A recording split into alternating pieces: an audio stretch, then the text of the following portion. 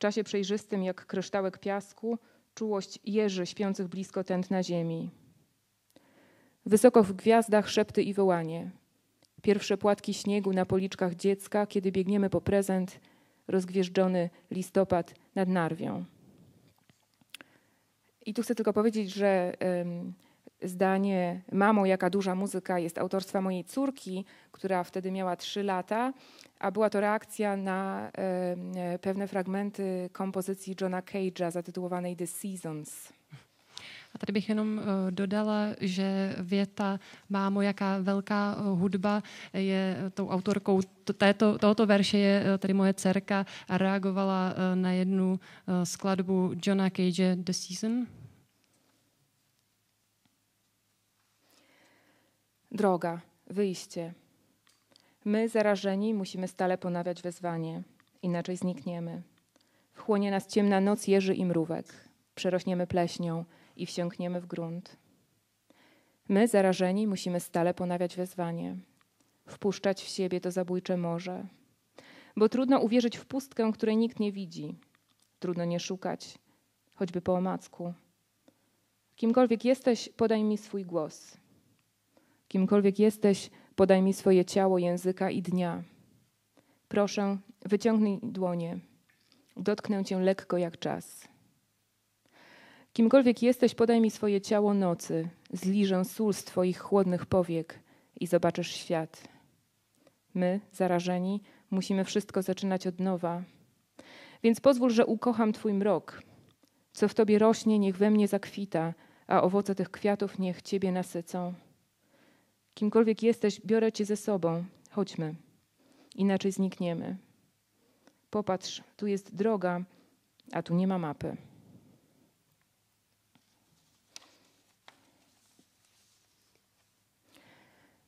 Droga, lądowanie. Wyruszyłam w tę podróż, żeby przewietrzyć sny, a nasze drogi przecięły się w niebie, gdzie szczupli ludzie zakładali maski cicho jak Buddowie. Twój głos poprowadził mnie przez wyślizgane równiny pełne światła o kolorze krwi. Wyruszyłam w tę podróż, żeby jeszcze bardziej dotknąć morza, które przez nas płynie.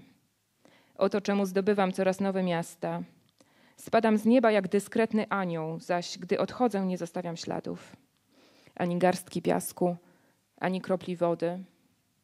Bowiem moją kroplę połączę z Twoim oceanem. Chcesz, umrę z Tobą. Tak się czasem mówi. Bezbronne ciało nie sprosta źdźbłom czasu.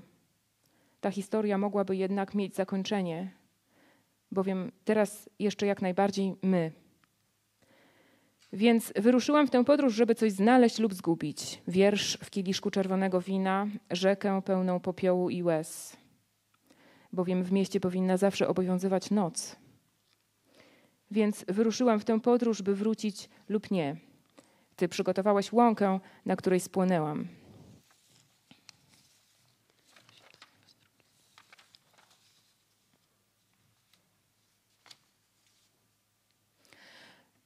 Fotosynteza. Słońce mnie rodzi prawie bezboleśnie. Na stopie mam plasterek ciepła, na powiekach lekki kompres krwi, nieziemskie gogle. Przesiada na nich widmo jak roztrzepany błyskawiczny ukwiał, który mi opowiada barwne ichtiologiczne historie. Czerwień i czerń. Tak wszystko się zaczyna. Później dopiero wielki wylew ultramaryny, która jest moją amfibią. Jak to było? Staram się pamiętać i coraz mocniej trę oczy. Tamte podskórne czasy podpływają bliżej, są moje na ułamek światła, momentalny bezdech i rozkoszny strach, który się zaraz rozproszy w musującej toni. Mieć Ciebie świecie na własność, kochać Cię, Ciebie tracić. A trzeba wyjść na ląd, opierzyć się i patrzeć prosto w słońce. Zieleń, tęczówki jak morze, tkanka, tkanina, tlen.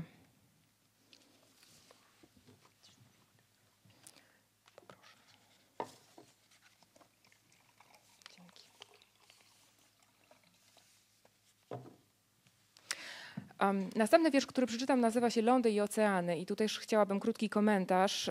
Um, to jest wiersz, który wynikł z takiego odkrycia, znaczy nie jest jakieś wielkie odkrycie, ale z takiej refleksji e, dotyczącej tego, że właściwie Ziemia jest ludziom potrzebna Między innymi po to, a może przede wszystkim po to, żeby chować zmarłych. Bardzo trudno jest pochować zmarłą osobę na przykład na środku oceanu. Další báseň zase doprovodím krátkým komentářem. Jmenuje se tedy Pevniny a oceány a byla inspirovaná takovým objevem, nebo neúplně objevem, spíš reflexí, že země je potřebná především proto, abychom mohli do ní pochovat zemřelé, což je velice těžké a může, můžeme je pochovat třeba uprostřed oceánu. Znaczy, oczywiście można pochować kogoś w oceanie, ale trudno jest wtedy wybudować grób. A grób, e, czy kamień nagrobny, nazywa się po grecku sema i jest to dokładnie to samo słowo, e, które oznacza również znak, także znak językowy, czyli początek każdej kultury. A samozřejmě můžeme někoho pochovat uh, i v oceánu, ale potom tam velmi těžko vybudujeme hrob, respektive náhrobní kámen. Uh, náhrobní kámen se řecky řekne sema a je to stejné slovo jako pro znak, tedy něco, co stojí na počátku každé kultury, slovo. I to mi się wydawało, wydało bardzo wzruszające myśl o tym, że kultura jest w jakimś sensie tak jak skała czy warstwy geologiczne w ziemi, dają nam zapis e, no, jakiejś historii naturalnej Ziemi. E, tak samo kultura, można powiedzieć, jest taką warstwą właśnie odkładającą się z tego, co mówili i robili różni zmarli. Takie przechowywanie jakiejś pamięci o tych zmarłych w postaci właśnie czegoś, co stanowi swoistą kulturową glebę, jest bardzo ważne dla każdej tożsamości. Takže mě to, mě to velmi dojímá a přijde mi, že jazyk je tedy pro kulturu něco takového, jako jsou geologické vrstvy. Ať v těch geologických vrstvách se ukládají, ukládá právě, řekněme, ta identita té, té kultury a ukládá se právě v těch vrstvách, vrstvách slov a v, tě, v tom, co kdysi řekli zemřelí. Takže to je pro každou kulturu ta, ta země, ta půda, ze které wyrůstá. Lądy i oceany. Dosłownie ogień jest nam bliski. Czasami czujesz go w podeszwach stóp. To znak, że kiedyś wszystko było boskim oceanem. Zaś głęboki czas Ziemi wyraża się w liczbach tak zatrważających, że ich odkrycie odmieniło bieg ludzkiej myśli. Która rzecz jasna spodziewa się gruntu pod nogami i przychylnej aury. Z tej perspektywy słońce jest czymś w rodzaju wieczności, a morze upartym podtekstem. Miejsce ma sens, o ile da się wykopać grób. Tylko gdzie niegdzie można pobudować domy. Na przekór wszystkiemu wierzy się w trwałość tych śladów, chociaż powszechnie wiadomo, że lepsza jest jedna garść pokoju. Jeszcze inne wersje mówią o wysłuchanej modlitwie ryb. Tak czy inaczej, odmęt ma swoje prawa. Ciała poniekąd stałe mamy przecież łzy, a te są w każdym słowie, bo sól jest na końcu języka i jest kropką nad i. Jeszcze taka mała refleksja dotycząca czegoś, co się w tym wierszu dzieje, jak sądzę. Coś tu się rozgrywa na pewno pomiędzy lądem a, a, a wodą, pomiędzy ziemią a wodą, pomiędzy stałym ciałem skupienia a, a płynnym stanem skupienia. To, to, to, też jest ciekawa obserwacja kulturowa, że ludzie od dawna bali się oceanu i poskromienie oceanu zawsze należało do ludzkich e, takich najśmielszych marzeń. takže ještě zase jeden komentář k té básni. ona se týká něčeho, co je mezi zemí a vodou, mezi pevninou a oceánem. oceán byl pro lidi vždycky něco, něco nebezpečného, tajemného, zvláštního. Poskromienie oceánu zawsze było, należało do takich najśmielszych pragnień ludzkości. A lidé se vždycky, vždycky toužili ten oceán nějak pokořit. I na przykład w e, Biblia tak się kończy, tak w Księga Apokalipsy, jak już jest dobry koniec wszystkiego, tak, to ten dobry koniec polega, polega między innymi na tym, że nie ma już oceanu. A právě ten šťastný konec e, třeba v Bibli nebo e, v Apokalypse se končí prostě tak, že ten dobrý konec je to, že už není ten oceán, to nebezpečné. No i to oczywiście jest bardzo ironiczne w sytuacji ekologicznej, aktualnej Ziemi, kiedy człowiekowi rzeczywiście udało się ocean może nie tyle poskromić, co no, w jakiś sposób e, swoją działalnością mm, no, wywrzeć, wywrzeć naprawdę istotny wpływ na, na, na życie bądź brak życia w oceanach. A je to ironické v, v kontextu vlastně současné ekologické situace, kdy právě se už lidstvu podařilo ne tedy oceán úplně už zničit, ale minimálně velmi ovlivnit jak život v oceánu, tak i samotný oceán.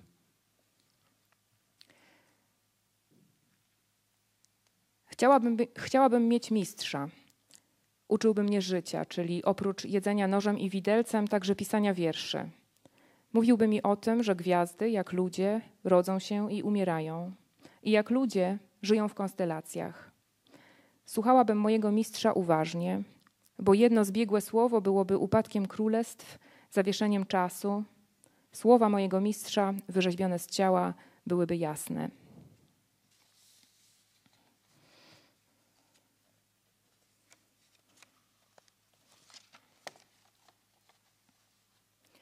Echo. Ponieważ znika się z niedoboru miłości, ciało ulega atrofii, śmierć wchodzi na duszę i nie ma mowy o nagości. W słowach nie ma już ani kropli wolności, nie ma oddechu, tylko szron i sztuczne krajobrazy. Tak znika się z niedoboru miłości, idzie się na samo dno nocy. W ciemności sączy się bezcielesny, przymusowy lament i nie ma mowy o nagości. Wszystko rozgrywa się w samotności, wszystko, czyli głos, gra samego głosu, ponieważ znika się z niedoboru miłości albo się siebie zatraca w wielkiej ilości powtórzeń. W królestwie znaków nie ma prawdziwej nagości. Taki los. Jesteś, ale cię nie ma. Twoje sylaby są ciężką pracą żałoby, ponieważ znika się z niedoboru miłości i nie ma mowy o nagości.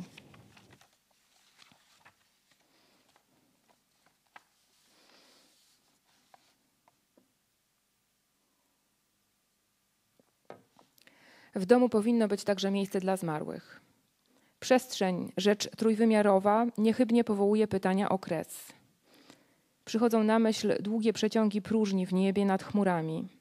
Tam jest przestrzeń kosmiczna, przedmiot odkryć, które zrewolucjonizowały wiele spraw.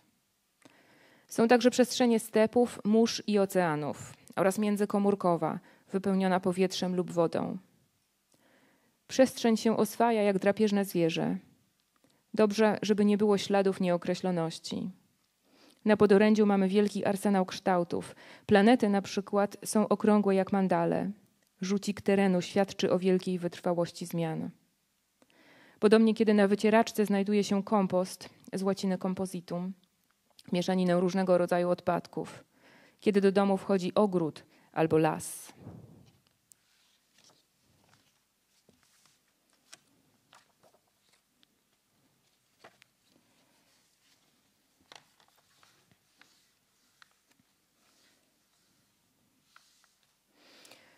Następny wiersz nazywa się Ramię Oriona. To tylko e, powiem, e, pewnie wszyscy wiedzą, że to jest e, ta część drogi mlecznej, do której należy Układ Słoneczny. Další báseň se jmenuje Orionovo rameno, možná jenom řeknu, asi to všichni vědí, že to je část hvězd, které tedy patří Mléčná dráha.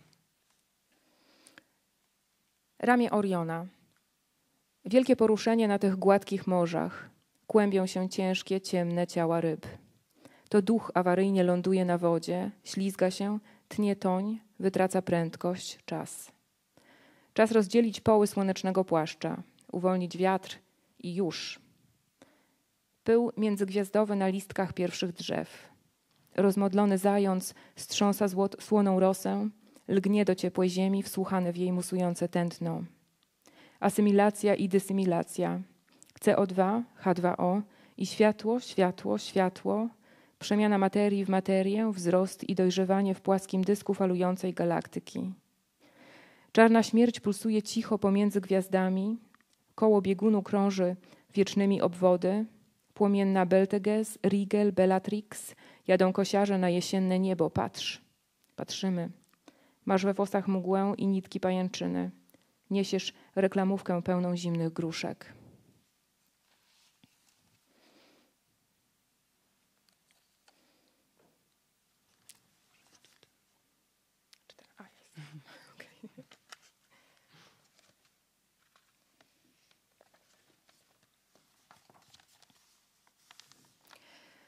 Kochankowie na otwartym morzu.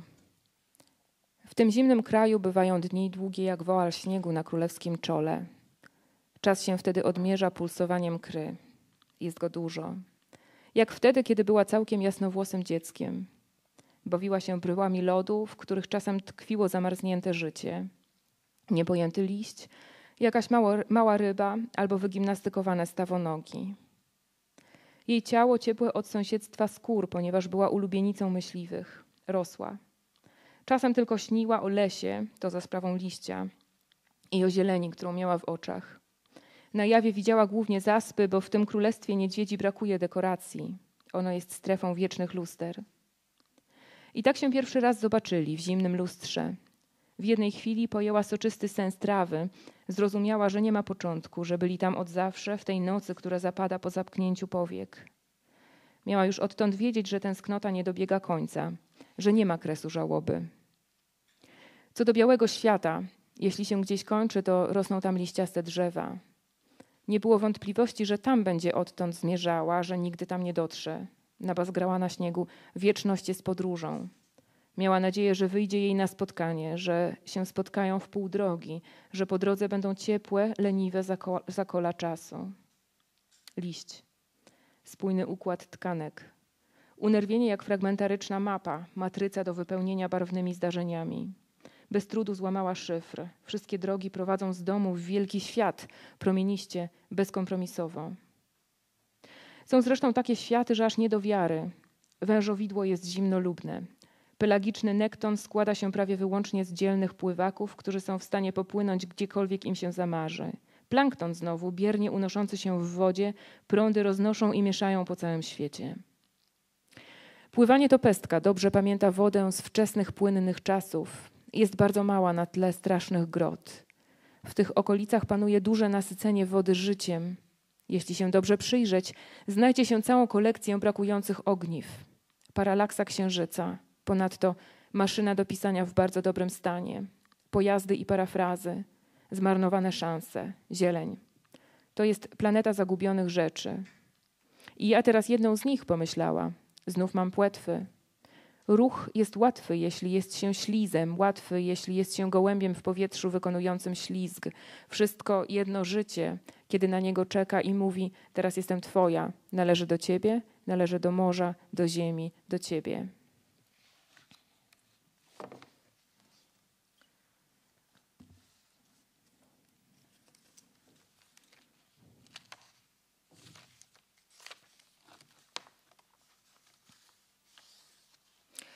Um, następny wiersz ma tytuł po angielsku It has been played once more. To jest linijka z um, wiersza um, amerykańskiego poety Johna Ashberego. Další báseň uh, má název It has been played once more. Je to uh, název básně uh, amerického básníka Johna Ashberyho. Nagle w samym środku mitycznej przyszłości, starsza od siebie, a co będzie później? Och, Blejku, słoneczniku, wiem, wiem, nawijam jak Allen Ginsberg. Wybacz wierszu, mam handrę, wybacz czytelniku. Jutro spełnię wszystkie noworoczne postanowienia. Teraz tu posiedzę, droga czekolado. Dziękuję, że jesteś dziś przy mnie, butelko Merlota. I tobie, telewizjo, dziękuję, agencie Cooper.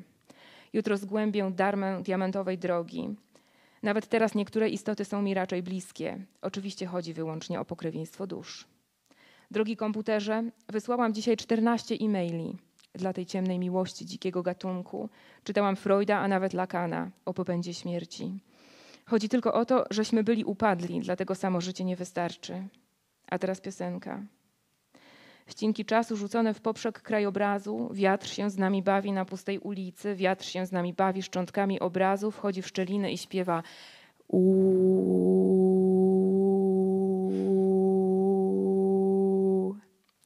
Szorstka skóra tej dłoni, która mnie dotyka, szorstka kora tej brzozy, którą czesze wiatr, obcy śpiew tego wiatru, który nas przenika i milczenie drzewa. Jutro spełnię wszystkie noworoczne postanowienia. Dzisiaj tu posiedzę. Tak się jakoś składa, że służą mi paradoksy i oksymorony. W samym środku mitycznej przyszłości opukuję pustkę. Halo, halo? Czy ktoś tam jest?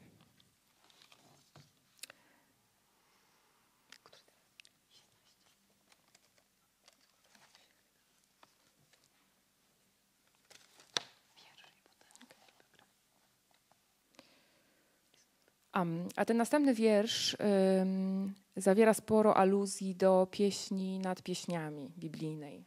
Mm-hmm. Další báseň uh, má, je tam hodně aluzí na píseň, na píseň písní z Bible. Wiersz. Pogubione sny dotyczyły przyszłości ze szkła, bezwonnej stali kolorowych świateł. W tym wariancie idę do ciebie przez las, przez świeżą zieleń doliny. Wody wielkie nie zdołają ugasić miłości. W tym wariancie idę do ciebie przez śmietnik. O, gdyby to było na serio. Reklamówki, plastikowe butelki, stare samochodowe fotele, drzewo figowe wydało zawiązki owoców. To oni by już coś z tym zrobili. Świeża zieleń doliny, pogubione sny dotyczyły prostych konturów zwycięstwa. To wszystko, żadnych niuansów. Teraz tylko żyjmy, potem się zobaczy. W tej wersji idę do ciebie przez miasto. Szarość pełna mokrych świateł, ja je tobie niosę, kuleczki ze srebra. Pogubione sny dotyczyły znakomitych miast. Mój miły jest mój, a ja jestem jego. Mamy psa, lodówkę, plazmę oraz Buddę. Miłość jest higieniczna dla zdrowia i długowieczności. W tej wersji idę do ciebie przez wodę i tonę, zanim się spotkamy.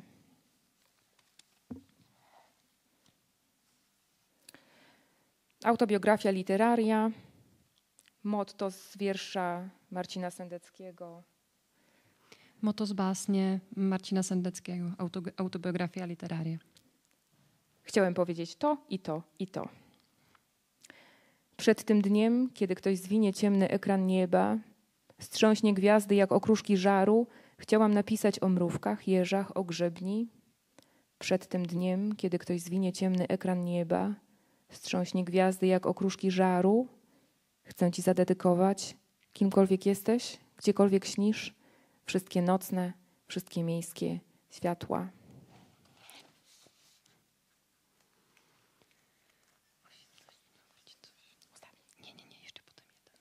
18. 18.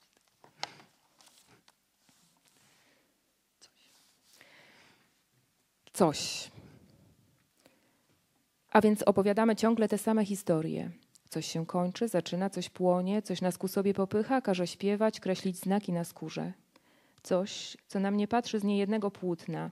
Dłonie tej kobiety, czemu taka czułość? Kimkolwiek była, umarła, a zaraz po niej malarz. J.C. Dal, 1788-1857, 151 lat temu. Albo to dziecko z nieba nad Berlinem, nie znam płci, w czarno-białym beciku.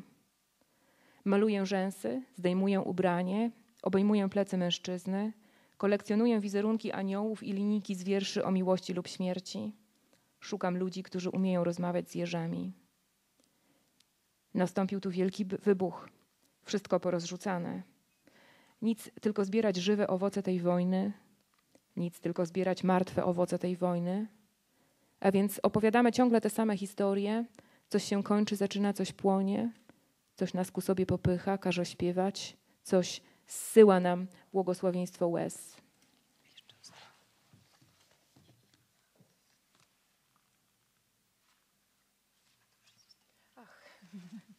To, tak, ostatni jest krótki bardzo. Poslední vlastně tady velmi krátká.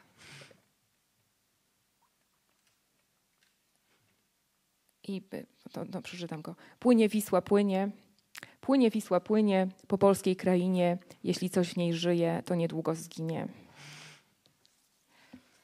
Dziękuję bardzo.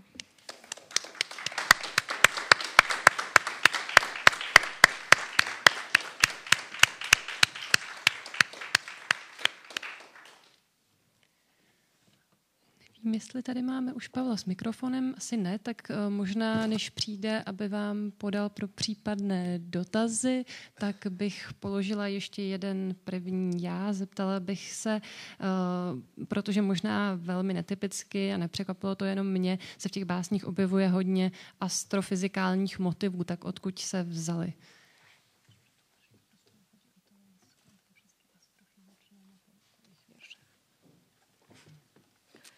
No, chyba po prostu stąd, że one wydają mi się bardzo ciekawe i Uważam, że błędem jest e, takie pojmowanie e, ludzkiej wiedzy i wrażliwości, które zakłada pęknięcie czy rozdwojenie na dwie odrębne kultury, kulturę humanistów i kulturę naukowców. Takže je to pro mě především velmi zajímavé a taky si myslím, že by bylo chyba dělit svět na dvě části, především ten, na ten svět vědy a svět humanistů.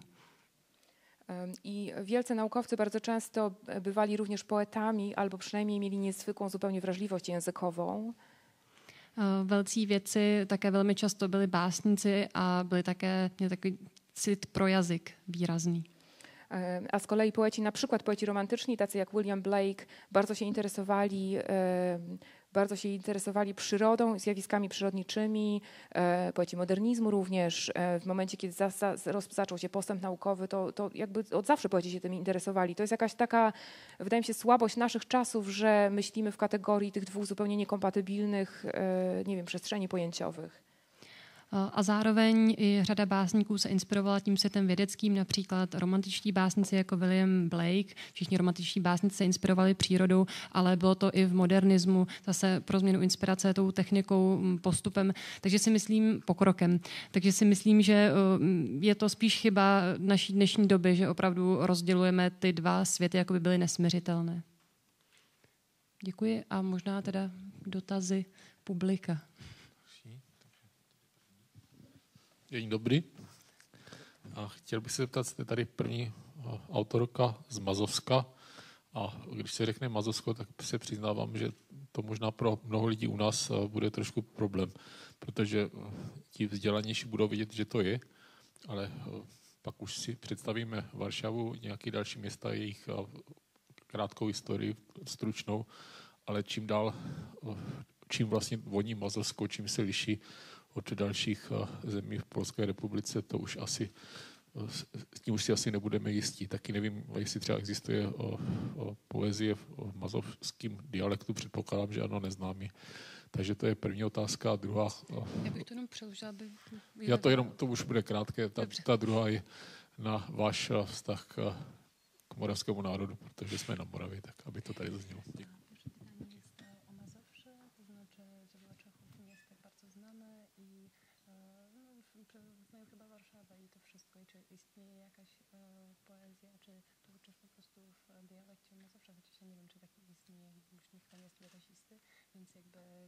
Pójść stosunek do Mazowsza. I drugie pytanie to cię uprzedzałam, to znaczy mm.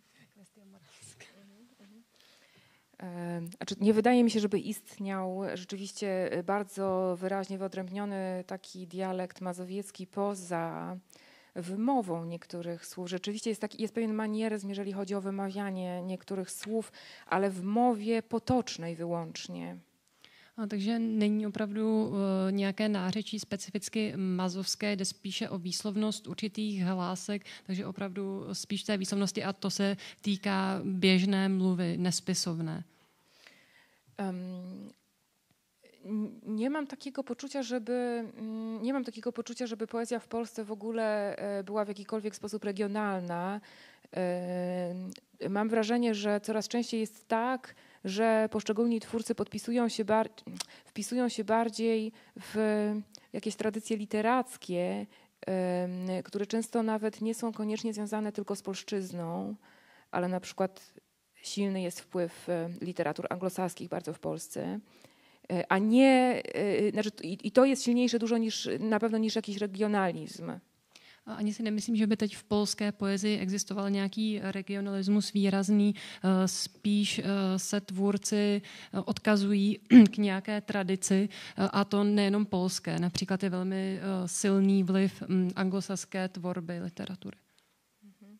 Z tego wszystkiego to ja pewnie jestem naj, największą regionalistką, o tyle, że u mnie się pojawiają rozmaite żywe stworzenia, rośliny i zwierzęta, które zapewne są charakterystyczne właśnie e, dla, no może nie, nie, nie tylko Mazowsza, ale przynajmniej dla tej powiedzmy strefy geograficznej. A já jsem možná tedy regionalistkou pouze v tom smyslu, že se u mě objevují e, zvířata a rostliny, které jsou typické ne možná pro Mazovsko, ale obecně pro tu geografickou oblast. Natomiast Morawy bardzo chciałabym kiedyś poznać. A Morawu bych chtěla e, poznat někdy. prosím další dotaz. Má někdo?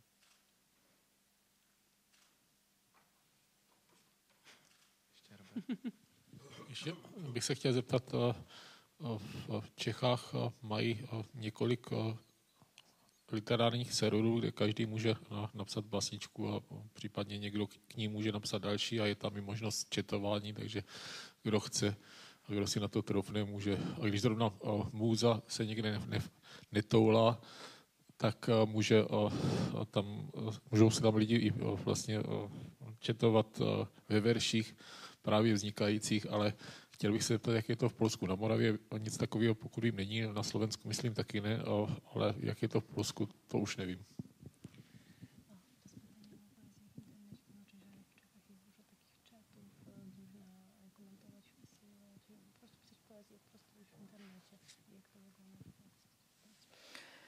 Myślę, że to wygląda dokładnie tak samo, że rzeczywiście poezja się. I to nie tylko, z tego co wiem, nie tylko w Polsce tak się dzieje, tak się dzieje na pewno też w Stanach Zjednoczonych czy na zachodzie Europy, że jest jakaś naturalna chyba droga dla poezji, że ona się przynosi do internetu i tworzą się małe społeczności internetowe skupione czasem wokół jakiegoś czatu, czasem wokół jakiegoś zinu.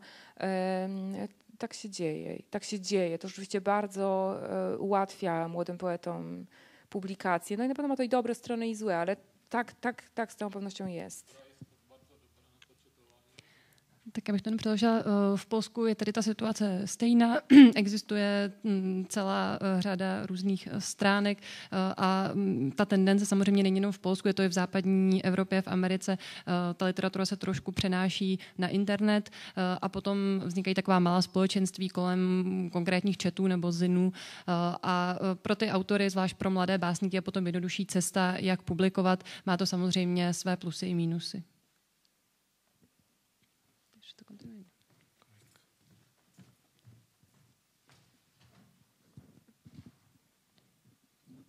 Dobrý den, uh, já jenom chci poděkovat za, za básně, nebo moc se mi líbily, ale jenom to je na okraj, ale že to bylo pro mě velmi rychle čtené, že jsem, že jsem to nemohla vůbec stíhat jako takhle, že to pro mě prostě na poezii bylo moc rychle, ale to je, to já vím, že polština je rychlej jazyk, že mluvíte rychleji, nebo, ale chtěla jsem se zeptat, uh, kdy jste uh, začala psát básně a co vás k tomu přivedlo, že třeba jste nepsala prózu, nebo nevím, je, vlastně jste i prozajčka, ale co vás jako přivedlo k básním?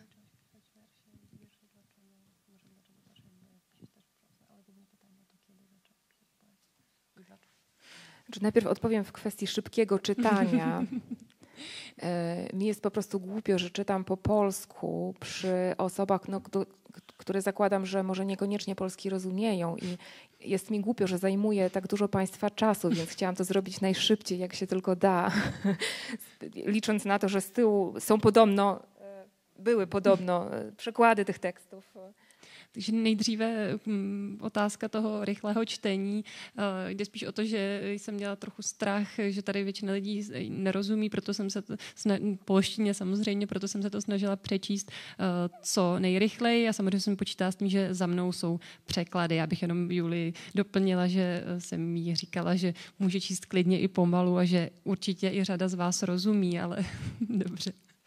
A jeżeli chodzi o pisanie, to ja zaczynałam od pisania prozy e, w wieku, nie wiem, czterech czy pięciu, sześciu lat i skłonił mnie do tego fakt, że nauczyłam się pisać.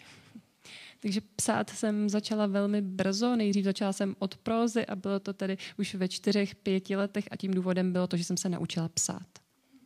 A um, wiersze zaczęłam pisać wtedy, kiedy um, po raz pierwszy naprawdę świadomie i dojrzale zaczęłam czytać poezję z zachwytem. A básně jsem zač začala psát v momentu, kdy jsem vědomně a s nadšením začala číst poezii.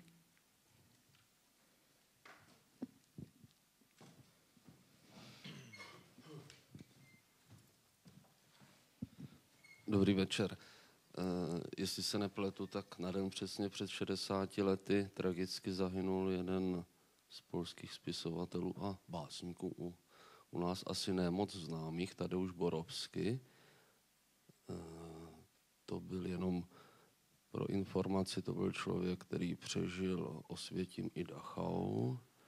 Potom o tom vydal beletristické svědectví v proze a kromě toho to byl taky, eh, myslím, velmi pozoruhodný básník, tak jsem se vás chtěl zeptat na váš vztah k jeho dílu, jak básnickému, tak prozaickému.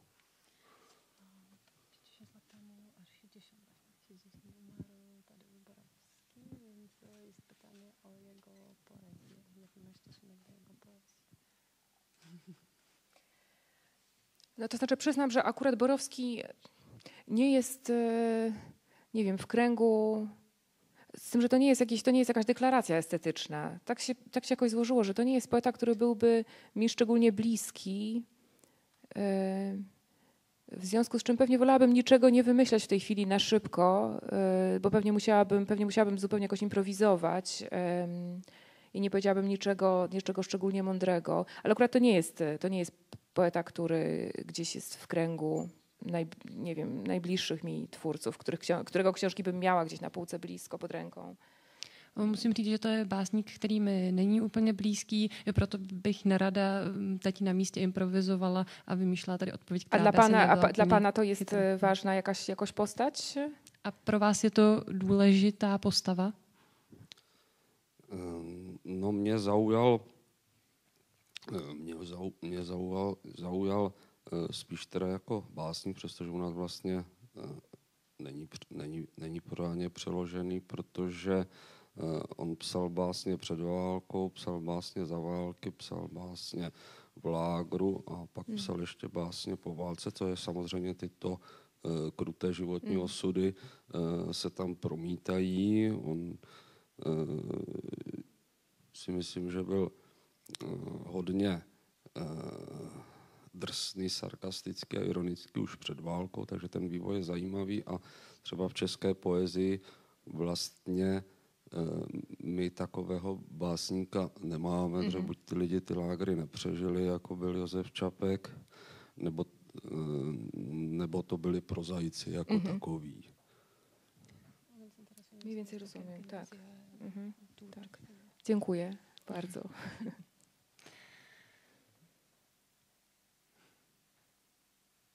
se možná zeptal ještě, rozšířil bych tím otázku Norbertovu. Eh, to je taková otázka, která padá často, ale obě odpovědi bývají zajímavé. Eh, jaký, které české básníky máte ráda, případně třeba i prozaiky, ale ty básníky by mě zajímaly víc.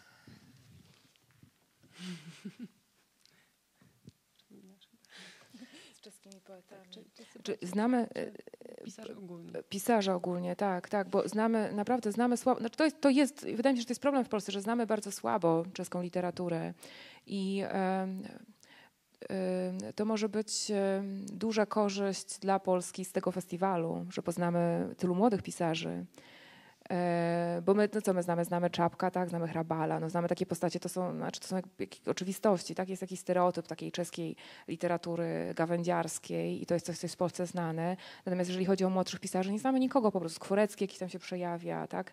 E, po, pojawia, a, ale jeżeli chodzi o młodych y, pisarzy, to nie, nie, są, nie wiem, jakoś nie, nie, ma, nie ma przykładów i nie ma tego w rozmowie o literaturze w Polsce, nie ma czeskiej literatury, co ja uważam za jakiś nasz ogromną naszą ułomność i mam nadzieję, że tą ułomność um, jakoś naprawimy i może ten festiwal się do tego też przyczyni. Takže problém je, že v Polsku není eh, česká literatura moc známa, eh, respektive eh, jsou i známý určitý typ autorů, Čapek, Hrabal, ten typ té jakoby hospodské literatury by se dalo říct a je to určitý stereotyp, který tam funguje a možná právě tenhle festival bude příčinou toho, že se Poláci právě v Vroclavi seznámí s těmi mladšími autory, kteří třeba právě nejsou přeložení. Já si myslím, že to je právě velká chyba, že, že nejsou nejsou, nejsou známí a, a snad teda i díky festivalu a nebo díky nějakým novým překladům Poláci tu českou literaturu poznají, která se v té běžné, eh, běžných rozhovorech o literatuře prostě neobjevuje. Ja myślę, że to wynika trochę z mm, faktu, że polska literatura, zwłaszcza poezja, ale w ogóle polska literatura po 1989 roku bardzo się odwróciła od innych e, literatur środkowoeuropejskich i bardzo się zwróciła na zachód. Znaczy dla nas ja mówię dla nas, no w 89 roku to ja jeszcze tak nie, nie, nie byłam autorką wtedy, ale dla, dla autorów z lat 90., czy ja debiutowałam w 2000 roku, no to tutaj właśnie poezja amerykańska, czy literatura postmodernizmu, te eksperymenty zachodnie właśnie, czyli odwrót kompletny od polityki, właśnie dokładnie od tej bolesnej historii. To było, to, to było coś, co wywarło, co, co się wydawało takie strasznie atrakcyjne. I mi się wyda, wydaje, że my mamy naprawdę dużą lekcję do odrobienia w Polsce, jeżeli chodzi o to, co się działo właśnie po sąsiedzku w tym czasie, przez, przez tam ostatnich kilka dekad. Možná je to otázka která je spojená s tím, co se stalo v 90. letech po roce 89, eh, kdy se především poezie eh, odvrátila od toho, co je ve střední Evropě a eh, díval se především směrem na západ.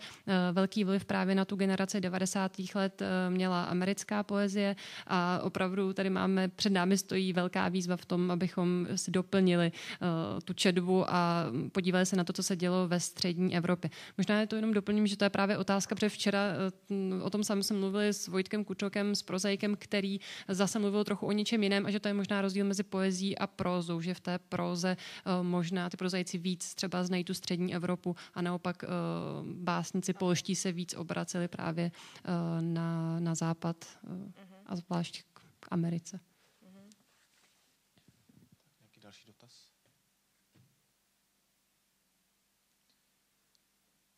Tak nám ještě na, na závěr, bych položil závěrečnou otázku, doporučte nám nějaké polské básníky, na které bychom si mohli. Polských polských poetů. o, po, po, o polských poetách No, no, no, tak jakby co, co, no właśnie, co jest, co, co jest do polecenia, do, do przeczytania właśnie tutaj do czeskim. Mhm, mhm. Nie, nie mam orientacji, jeżeli chodzi o to, co było na czeski tłumaczone, niestety. Co, y, ta, o, no, właśnie, tak, bardzo polecam antologię. bardzo Są bardzo polecam antologię. Ráda, které máte prostě ráda vy, nemusí to, to být z tohoto festiwalu. Nie, muszą być tłumaczenia, nie musi być na festiwalu. tak, bardzo ważnym poetą jest dla mnie Andrzej Sosnowski. Jest? Nie, nie, ma. Za stary. Bo to jest, tak, za stary. Na, tą antologię był za stary. On był w, w, takiej, która była předtem. Okay. Andrzej Sosnovský, který v téhle antologii není, protože ta je z ročníky 70. 80. ale myslím si, že byl v té antologii hostovské Bílé propasti, která vyšla si před 15 lety. E, Marzanna Bogumiła Kielar, za stara. Marzena Bogumiła Kielar, taky bohužel už starší generace tedy. Ale to nemusí být nejmladší, to, to być Tak, to, mówię o takich, którzy są ważni dla mnie. Tak, no właśnie Sosnowski, Kielar, Sendecki. Marcin Sendecki. E, jest ważną postacią bardzo. Chwilami Szymborska. Občas uh, Wisława Szymborska. Niektóre rzeczy u Szymborskiej. I Różewicz bardzo. A Tadeusz Różewicz. Velmi.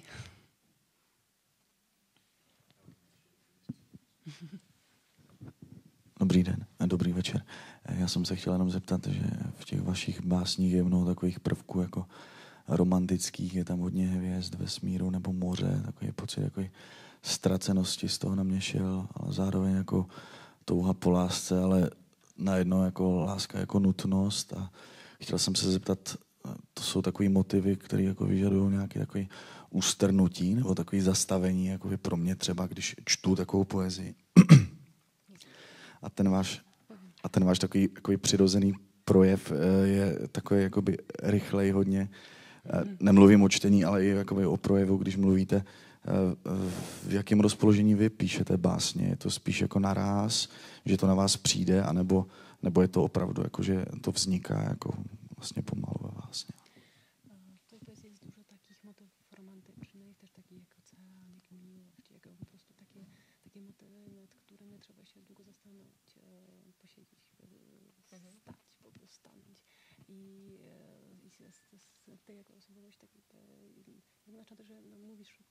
czytasz szybko, więc w jaki sposób piszesz, w jakiej sytuacji, bo trzeba, wygląda to, że trzeba się na taką poezję, żeby ją napisać, skupić.